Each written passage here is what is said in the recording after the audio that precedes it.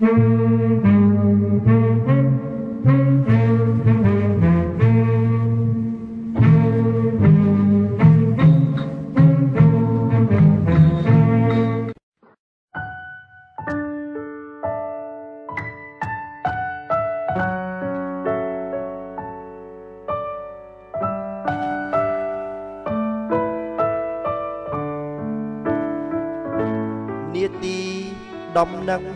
ក្រោយរៀបរៀងនិងអត្ថាធិប្បាយដោយវីរៈវ៉ារនីស្រាវជ្រាវនិងផលិតដោយ ក្រុមព្រះសូរិយា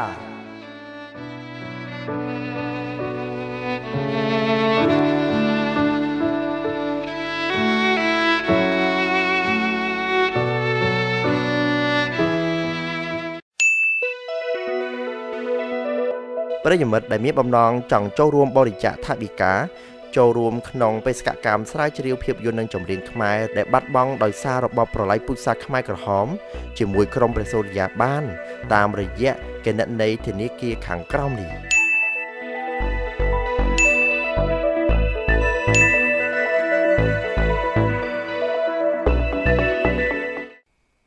រឿងពិត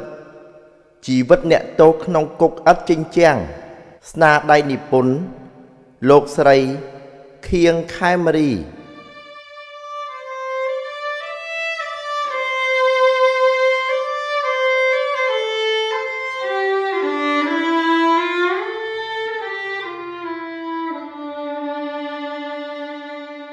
យប់នោះលោកពុកនិងអ្នកម្ដាយសម្រានមិនលក់ទេ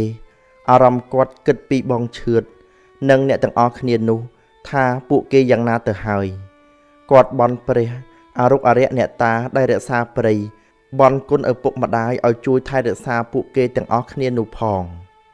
ព្រឹកឡើងខ្ញុំលោកពុកនិងអ្នកម្ដាយក្រោកពីព្រលឹមស្រាប់តែឃើញបងឈឿតបងយុនបងសំភ័សនិងប្តីត្រឡប់មកវិញខ្លួនពួកគាត់ទៅទឹកជោកព្រមទាំងប្រឡាក់ភក់ស្រមេស្រមោទៀតផងព្រោះយប់មិញមានភ្លៀងខ្លាំងយើងភ្ញាក់ព្រឺតហើយសម្លឹងមុខពួកគាត់ បងឈឿតប្រាប់ថា យើងទៅមិនរួចទេ ទឹកច្រើនណាស់បងឡើងដើមឈើមើលឃើញសុទ្ធតែទឹក ពេញវាលតែម្ដង ហើយបើសិនជាអាច បងសាកម្ដងទៀតនៅរដូវប្រាំងខ្ញុំសួរទៅគាត់វិញចុះបងប្អូនប្រុសប្រុសពីរនាក់នោះពួកគេមិនត្រឡប់វិញទេ គេនឹងតស៊ូទៅមុខទៀតប្រកាសណាស់ខ្ញុំជឿនៅការត្រៀមលក្ខណៈធ្វើដំណើររបស់ពួកគាត់លោកពុកអ្នកម្ដាយខ្ញុំលើកដៃសំពះបន់ស្រន់ឲ្យពួកគាត់ទាំងពីរ បានឆ្លងផុតឧបសគ្គគ្រប់បែបយ៉ាងពីថ្ងៃក្រោយមកបងឈឿតមកនិយាយជាមួយលោកពុកនិងអ្នកម្ដាយថាគាត់ចង់រៀបការជាមួយបងស្រីសវណ្ណារាលោកពុកអ្នកម្ដាយបានទៅពិភាក្សាជាមួយបងស្រីជីដូនមួយ និងប្តីគាត់អំពីរឿងនេះដោយការយល់ព្រមទាំងសងខាង អាពាហ៍ពិពាហ៍ក្នុងព្រៃក៏កើតឡើងនៅថ្ងៃស្អែកតែម្ដងមន់ពីរដែលបងប្រុសខ្ញុំយកមកពីភូមិកំណើតនោះហើយដែលលោកពុក យកមកធ្វើជាសំណែនសែនព្រេងក្នុងពិធីអាពាហ៍ពិពាហ៍នេះគាត់យកមេឃឈើតូចតូចធ្វើជាធូបដោយនិយាយឧបកិច្ចលោកពុកពូកែណាគាត់រៀបការបងទាំងពីរដោយខ្លួនគាត់គាត់និយាយបន់ស្រន់ទៅទេវតាអរុគរៈអ្នកតា ដែលថារក្សាទឹកដីព្រៃនេះព្រមទាំងជីដូនជីតាទាំងអស់កុំប្រកែប្រកាន់ហើយជួយថែរក្សានិងធ្វើជាសាក្សីចំពោះគូស្វាមីភរិយាថ្មីនេះផង។ បន្ទាប់មកគាត់ក៏ឲ្យពោសពសាធុការដល់បងទាំងពីរដោយមានផ្ដិលទឹកមួយ កាន់នៅនឹងដៃគាត់ខាងឆ្វេង ហើយដៃស្ដាំកាន់មែកឈើដែលមានស្លឹកតូចតូចជ្រលក់នឹងទឹកផ្ដិលរលាស់ទៅលើបងទាំងពីរហើយសូត្រធម៌ផង បងទាំងពីរស្លៀកពាក់សមគួរល្មមអង្គុយទន្ទឹមគ្នា លើកដៃប្រណំទទួលពរជ័យពីលោកពុកអ្នកម្ដាយនិងបងប្រុសបងស្រីជីដូនមួយ ព្រមទាំងក្រុមគ្រួសារទាំងសងខាងទាំងទឹកមុខញញឹមមន់នោះមិនត្រឹមតែសម្រាប់សែនព្រេងតែមួយមុខនោះទេ អ្នកម្ដាយបានយកវាទៅធ្វើជាបបរមន់សម្រាប់ជប់លៀងក្នុងពិធី ចំណែកភ្ញៀវវិញ គឺសុទ្ធតែបងប្អូនគ្រួសារយើង និងអ្នកដែលនៅជុំវិញពួកយើងប៉ុណ្ណោះសំណាងដែរពួកខ្មែរក្រហមមិនបានដឹងពីអាពាហ៍ពិពាហ៍នេះទេព្រោះយើងនៅឆ្ងាយដាច់ពីគេដែលជាការងាយស្រួល អាចមើលឃើញអ្នកដើរមកទីនោះ ដោយស្រួលបាន ហើយម្យ៉ាងទៀតយើងមិនបានធ្វើឲ្យមានភាពអ៊ូអរផង គឺអ្នកដែលមិនមែនជាបងប្អូន អង្គុយក្នុងជំរករៀងរៀងខ្លួនឯពួកយើងជាបងប្អូនឈរពីក្រោយលោកពុកបែរទៅផ្លូវក្នុងជំរំចម្រោកប្រជាជនថ្មីទាំងអស់បងសវណ្ណារា បានប្រមូលអីវ៉ាន់មកនៅជាមួយបងឈឿនចាប់ពីពេលថ្ងៃនោះមកអីវ៉ាន់ទាំងនោះមានសម្លៀកបំពាក់មួយវ៉ាលីតូច និងប្រអប់ខ្មៅមួយ មូលត្រប៉ែត ស្ដួចចុងវែងទំនងដូចជាប្រអប់ភ្លេង ប្រកាសណាស់គាត់បើកឲ្យខ្ញុំមើលខ្ញុំឃើញវីយូឡុងមួយ ប្រដាប់កូដវីយូឡុងមួយ និងសៀវភៅអក្សរភ្លេងមួយផងខ្ញុំបាននិយាយពីខាងដើមខ្លះហើយថា បងសវណ្ណារាជាសិល្បករនីក្នុងសាលាតន្ត្រីវិចិត្រសិល្បៈក្រុងភ្នំពេញគាត់ជាកូនសិស្សរបស់លោកហាសាឡនផ្នែកខាងវីយូឡុងហើយគាត់បានក្លាយជាគ្រូបង្រៀនភ្លេងផ្នែកនេះដែរ គាត់មានសមត្ថភាពច្បាស់លាស់ណាស់គឺចេះអាននិងសរសេរអក្សរភ្លេង ចេះកូដវីយូឡុងចេះច្រៀងបទចម្រៀងសម័យបុរាណចេះបទយីកេបទកំណាព្យព្រមទាំងចេះនិយាយរបៀបតាមក្រខោនជាតិទៀតផង ពួកគាត់ទាំងពីរនាក់ស្រឡាញ់គ្នាណាស់មុខគាត់ញញឹមជានិច្ចពេលដែលពួកគាត់បាននៅជិតគ្នា ហើយពួកគាត់មិនចង់បែកគ្នាសំបីតែមួយវិនាទី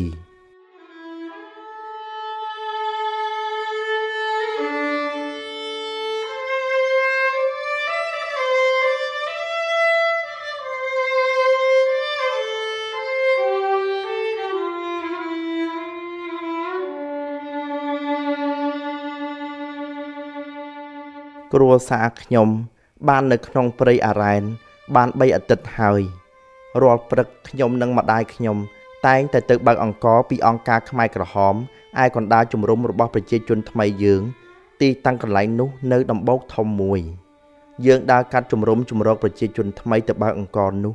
យើងឃើញទស្សនវិជ្ជាដ៏សែនសោកសង្រេតរបស់ប្រជាជនយ៉ាងជូរចត់បំផុត គ្រួសារនីមួយៗរស់នៅទាំងលំបាក ក្រោមជំរកដំបូលស្លឹកធ្លុះធ្លាយឃើញមេឃឃើញផ្កាយ ពួកគេមានទឹកមុខស្ងួតស្ងប់ ខ្លួនប្រានស្គមស្គាំងស្លេកស្លាំងគ្រប់គ្រប់គ្នា ប្រជាជនភៀកច្រើនមានជំងឺស្រែកឃ្លានដោយគ្មានអាហារបរិភោគគ្រប់គ្រាន់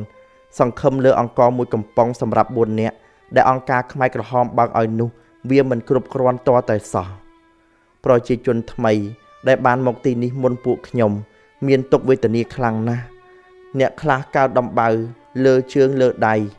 រូងចូលទៅក្នុងសាច់មានខ្ទុះមានទឹករងៃរីកធំឡើងធំឡើង រហូតមានដង្កូវចេញទៀតផង ហើយក្រោយមកក៏ស្លាប់ដោយសារគ្មានមធ្យោបាយនឹងព្យាបាល អ្នកខ្លះស្គមសល់តែស្បែកដណ្ដប់ឆ្អឹងភ្នែករូងសក់កន្ទ្រីងកន្ទ្រើងប្រឡាក់ប្រឡោកដីគ្មានអនាម័យដូចមនុស្សព្រៃដែលគេឃើញនៅក្នុងសិភៅរឿងរបស់អ្នកនិពន្ធសរសេរប្រឌិតឡើងតែប៉ុណ្ណោះ អ្នកខ្លះមានរោគហើមដៃហើមជើង ព្រោះពួកគេមិនអាចទ្រាំបាននៅភាពស្រេកឃ្លាន ហើយចេះតែដើរបេះស្លឹកឈើព្រៃផ្សេងផ្សេង មកចំអិនបរិភោគអ្នកខ្លះបរិភោគទាំងឆៅតែម្ដង ហើយម្យ៉ាងទៀតគឺខ្វះជាតិស្ករនិងអំបិលអ្នកខ្លះមានរោគចុកពោះចុករាកហើយបានស្លាប់តន់ហន់ដោយមិនអាចរកថ្នាំមកព្យាបាលតន់ឡើយខ្ញុំនិងអ្នកម្ដាយឈរតម្រង់ជួរ ជាមួយប្រជាជនដទៃទៀតដើម្បីបើកអង្គពីអង្គការខ្ញុំឃើញប្រជាជនចាស់4ទៅ5នាក់បានបរទេសគោដឹកអង្គមកទីនេះ អ្នកដែលខ្ញុំចាំច្បាស់ជាងគេ គឺមិត្តម្នាក់ឈ្មោះដាំងគាត់មានរូបរាងខ្ពស់ស្រឡះសម្បល់ស្រអែមក្រហម សក់រួចអង្គាដីស្លៀកខោខ្មៅពាក់អាវហោប៉ៅ4ពណ៌អាចសេះសម្លៀកបំពាក់នេះរបៀបអ្នកថ្មីយើង ពាក់ស្បែកជើងកើកង់ឡាន បង់កក្រមាក្រឡាសខៀវ គាត់និយាយរស់រាយណាស់ហើយដូចជាមិនសូវប្រកាន់ដល់ពួកយើងអ្នកថ្មីប៉ុន្មានទេគាត់ដើរជាមួយមិត្តម្នាក់ទៀតមានរាងតូចល្អិតស្លៀកខ្មៅទាំងអស់ពាក់ស្បែកជើងកង់ឡាន និងបង់កក្រមាក្រឡាសក្រហមគាត់ទាំងពីរនាក់ចែកអង្គហើយគាត់ឈ្មោះពួកយើងជាបន្តបន្ទាប់លុះចែកអង្គរួច ពួកគាត់មិនទាន់ត្រឡប់ទៅវិញដូចអ្នកឯទៀតឡើយ គឺគាត់ដើរមើលប្រជាជនថ្មីគ្រប់ទីកន្លែង ក្រោយមកទើបខ្ញុំបានដឹងថាគាត់ទាំងពីរនាក់ត្រូវអង្គការចាត់តាំងឲ្យមកកាន់កាប់ពួកអ្នកថ្មីយើងចាប់ពីថ្ងៃនេះតទៅនៅក្នុងការចែកអង្គថ្ងៃនេះខ្ញុំបានឃើញស្រីស្រីពីរនាក់បងប្អូនបង្កើតនឹងគ្នា បានមកសួរនាំទៅប្រជាជនចាស់អំពីឪពុករបស់គេ បងស្រីមានសម្បល់សស្អាតដូចកូនយួនអញ្ចឹងតែនាងមានកម្ពស់ទាបបន្តិចឯម្នាក់ជាប្អូនវិញខ្ពស់ស្រឡះមានរាងស្អាតសម្បល់ស្រអែមស្រស់ ហើយឈ្មោះនាងវិញក៏ស្រអែមដែរពួកគេទាំងពីរនាក់ប្រហែលមានអាយុស្មើស្មើនឹងខ្ញុំ ស្រអែមកាន់ក្រដាស់មួយសន្លឹកបត់ផ្នត់4ជ្រុងស្អាតទំនងដូចជាលិខិតមែនហើយ គឺជាលិខិតដែលនាងសរសេរជាភាសាបារាំងទទូចសុំផ្ញើតាមប្រជាជនចាស់ឲ្យប៉ារបស់នាង ដែលត្រូវខ្មែរក្រហមបានបញ្ជូនទៅរៀនសូត្រជាមួយប្រជាជនជាច្រើនទៀតចាប់តាំងពីពេលដែលពួកយើងមកដល់ទីនេះដំបូងម្លេះ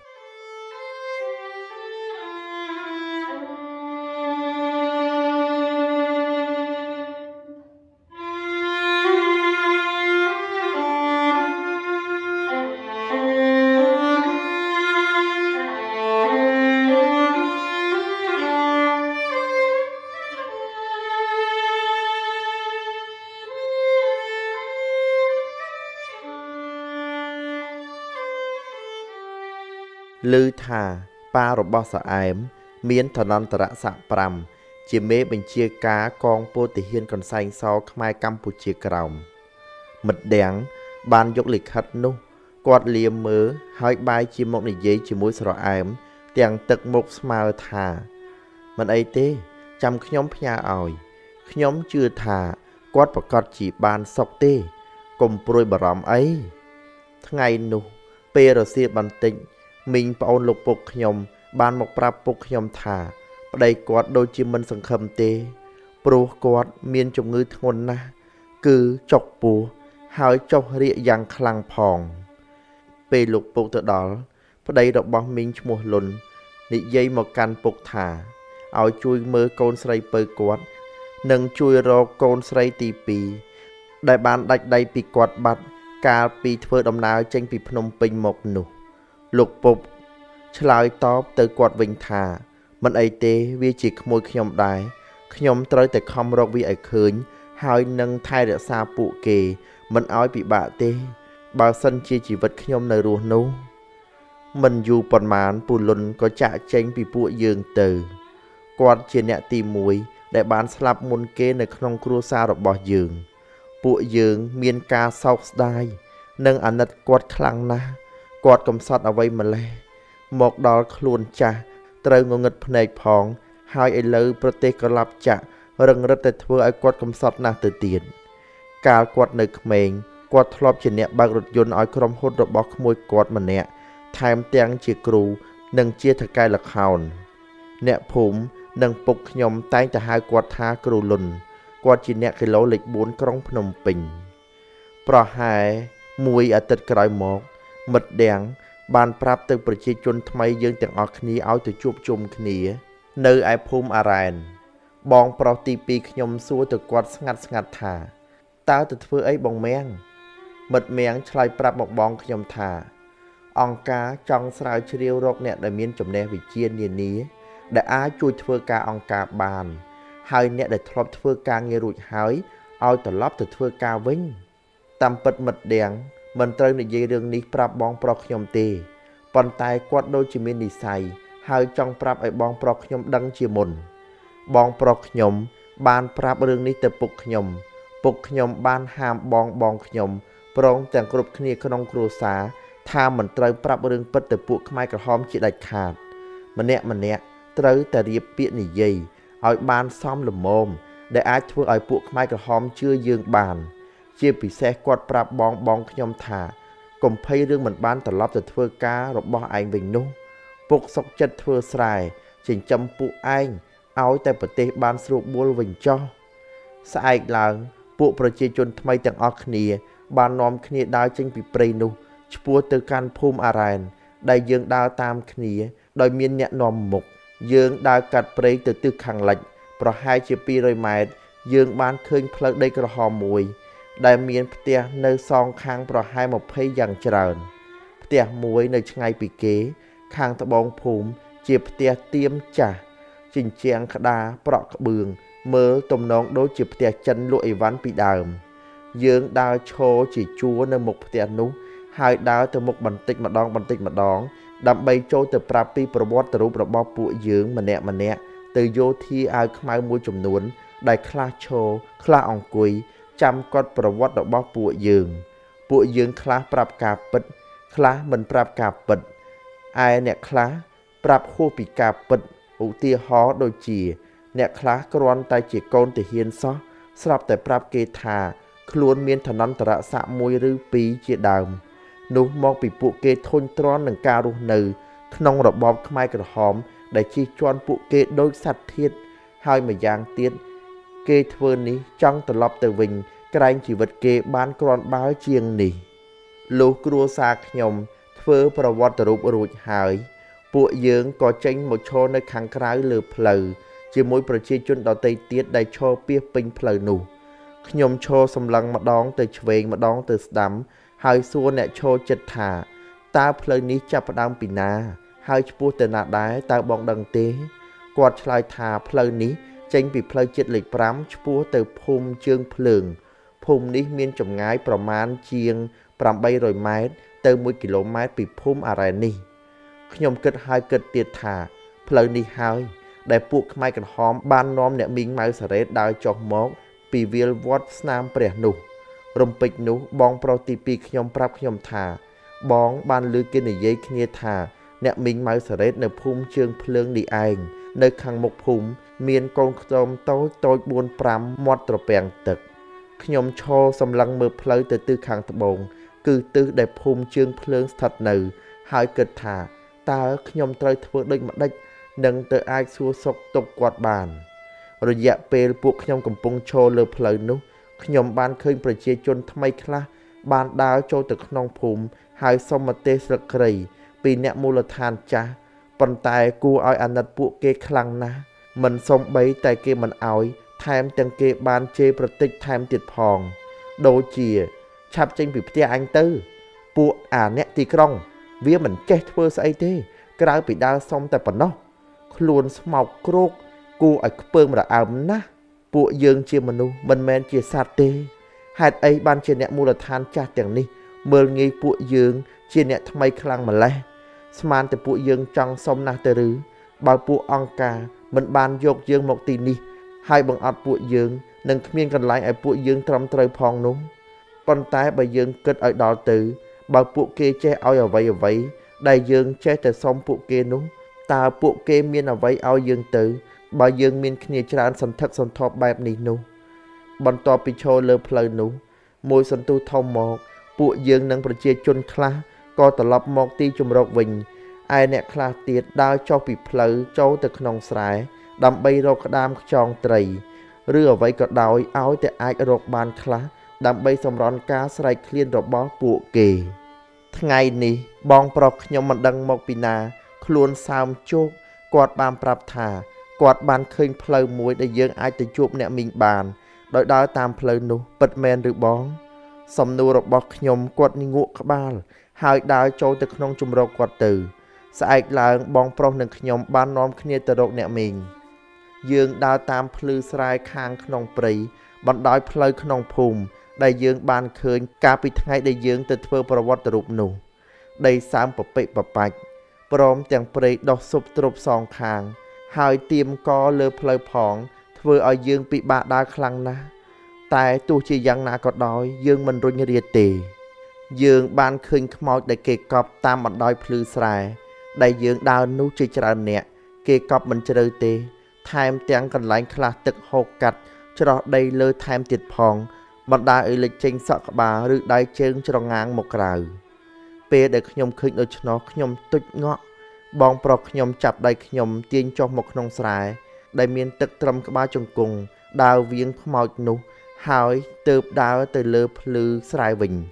យើងធ្វើបែបនេះគ្រប់ពេល ដែលយើងបានជួបខ្មោចកប់នោះ ប្រហែល1ម៉ោងក្រោយមក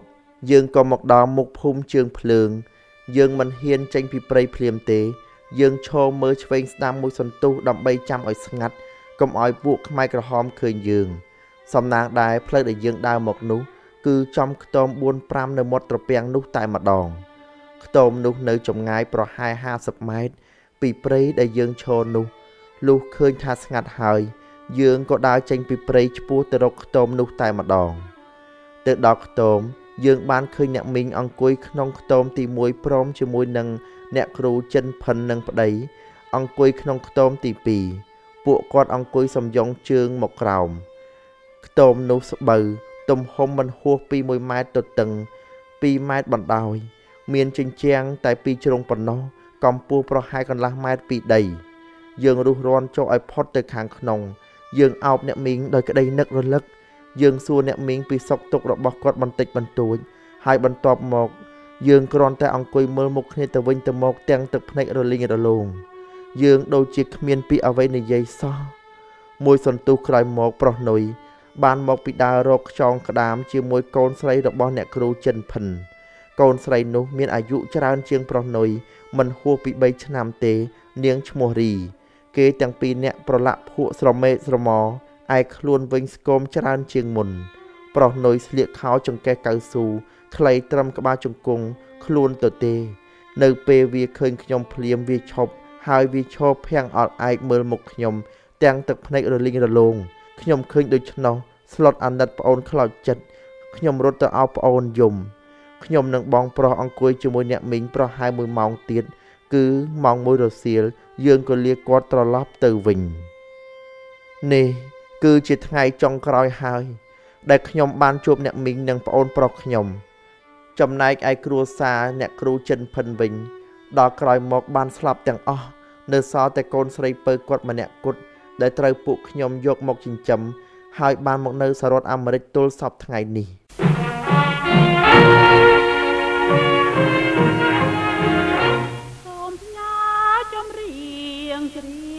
ងភក្តីមានន័យ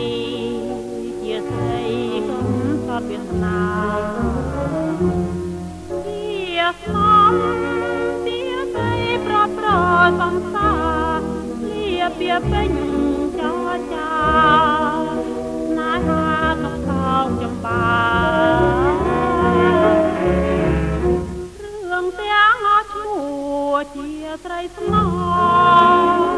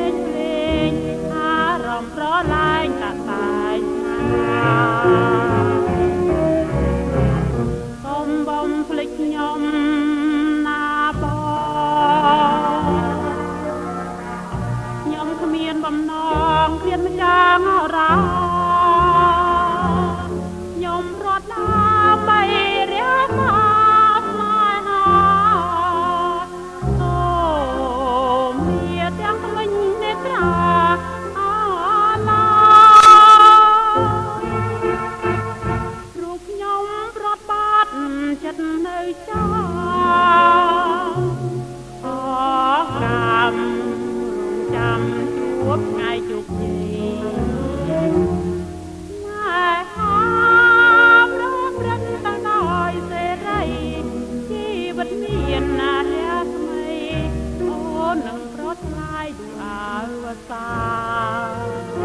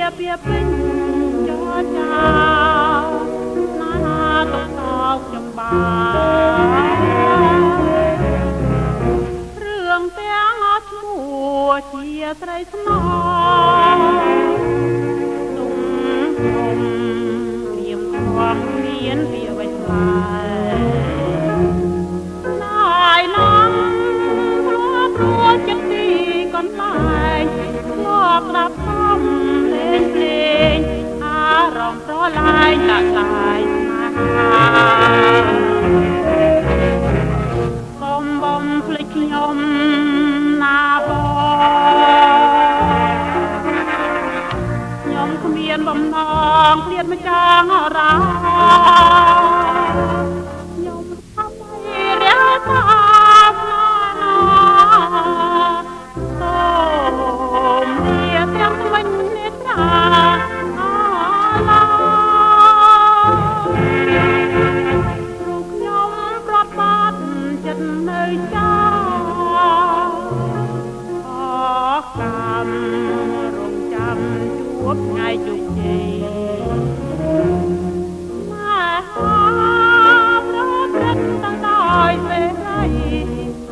វិតមានណារាថ្មី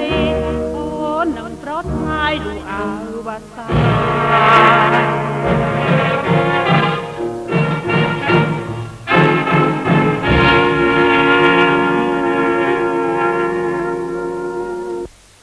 គម្រោងប្រជុំញាតិមិត្តគឺជាគម្រោងលំនៅឋានទី4របស់បរិយសម្បត្តិមានហេង3មានទីតាំងស្ថិតនៅតាមបណ្ដោយផ្លូវជាតិលេខ1ដែលជាតំបន់មានសក្តានុពលខ្លាំង ដែលទទួលបានការចាប់អារម្មណ៍ជាច្រើនពីសំណាក់អតិថិជន និងវិនិយោគិនគ្រប់ដំណាក់កាលនៃការសាងសង់សុទ្ធតែមានការត្រួតពិនិត្យដោយយកចិត្តទុកដាក់បំផុតពីសំណាក់ក្រុមវិស្វករជំនាញជំនាញដែលមានបទពិសោធន៍ជាយូរឆ្នាំ ផ្ដល់ជូននូវការរស់នៅពោពេញដោយសោភ័ណភាព ប្រណិតភាពភាពទាន់សម័យសំណង់រឹងមាំនិងបរិយាកាសបែបធម្មជាតិបច្ចុប្បន្នគម្រោងប្រជុំញាតិមិត្តមានលក់ប្រភេទផ្ទះដូចជា1វីឡាកូនកាត់ទំហំ4.2ម៉ែត្រគុណ12ម៉ែត្រមានកម្ពស់3ជាន់មាន4បន្ទប់គេងមាន5បន្ទប់ទឹក បន្ទប់ទទួលភ្ញៀវប្រកបដោយផាសុកភាពផ្ទះបាយទាន់សម័យខាងមុខផ្ទះមានទីធ្លាចតយានយន្តធំទូលាយ2ផ្ទះវីឡាកូនកាត់ ទំហំ6.3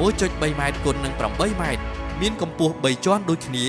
មាន3បន្ទប់គេង មាន4បន្ទប់ទឹក បន្ទប់ទទួលភ្ញៀវធំទូលាយ3ផ្ទះអាជីវកម្មរូបរាងយ៉ាងប្រណិត ទំហំ4.5ម៉ែត្រគុណនឹង16ម៉ែត្រមានកម្ពស់3ជាន់មាន4បន្ទប់គេង5បន្ទប់ទឹក ដែលបង្កឲ្យមានភាពងាយស្រួលប្រកបអាជីវកម្ម ឬធ្វើការិយាល័យសម្រាប់លោកអ្នកដែលជាប្រភេទផ្ទះណាមួយក្នុងពេលឥឡូវនេះនឹងទទួលបានប្រូម៉ូសិនពិសេសរួមមានបងជាដំណាក់កាលដោយគ្មានការប្រាក់រយៈពេល36ខែនិងបងរំលោះសុទ្ធ100%ដោយគ្មានប្រាក់កក់ជុំវិញគម្រោងជាតំបន់អភិវឌ្ឍស្រាប់មានមនុស្សរស់នៅច្រើនកកមានស្ពានតភ្ជាប់ពីទីក្រុងរណបថ្មីកោះនរាទៅកាន់កោះពេជ្រនិងមជ្ឈមណ្ឌលពាណិជ្ជកម្មជាច្រើនពាត់ជំវិញថែមទៀតទីតាំងគម្រោងស្ថិតនៅអតីតសួនទឹកសន្តិភាព ភូមិមិត្តភាពសង្កាត់ព្រែកឯងខណ្ឌច្បារអំពៅរាជធានីភ្នំពេញសម្រាប់ព័ត៌មានបន្ថែមសូមតាក់ទងមកកាន់លេខ095 333 100 095 333 920 070 333 920បុរីសម្បត្តិមានហេងនាំមកនៅភាពកតញ្ញូភាពកតញ្ញូរំលត់នៅនិស័យកម្ម